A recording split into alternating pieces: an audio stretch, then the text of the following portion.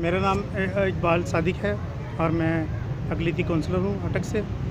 तो मेरी supreme court chief justice साहब से, अटक में जो डीसी साहब हैं उनसे और एसी साहब से इल्तमास है कि अटक में जहाँ जहाँ भी नजायज़ तजावज़ात का ख़त्मा किया जा रहा है, वहाँ पे हमारा गोरा कब्रस्तान भी आता है। तो वहाँ पे जनाजा गुज़रने के कोई रास्ता नहीं है गेट के सामने दुकानें बन चुकी हैं तो उस नजायज़ तजावज़ात को गिराया जाए ताकि हम जनाजा बासानी लेकर के अंदर जा सकें और अपने जनाजे की जो है को तदफीन कर सकें।